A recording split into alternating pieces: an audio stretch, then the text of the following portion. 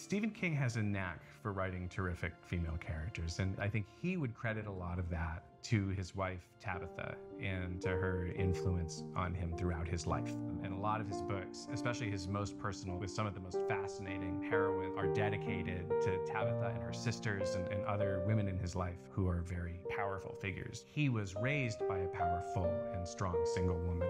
His relationship with his mother shapes his writing quite a bit, and he goes into very moving detail about that in On Writing and a lot of his interviews.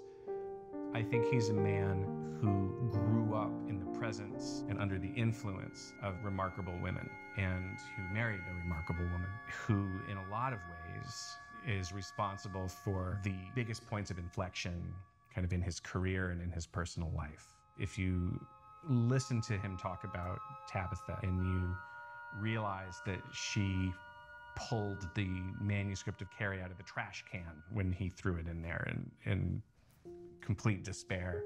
When you imagine her being the first set of eyes on one of his stories and giving him that first critical feedback. When you imagine some of the stories he tells about their marriage, not only kind of in his fictionalized versions of it, but in On Writing, when he talks about how she came to him and made him confront his addiction.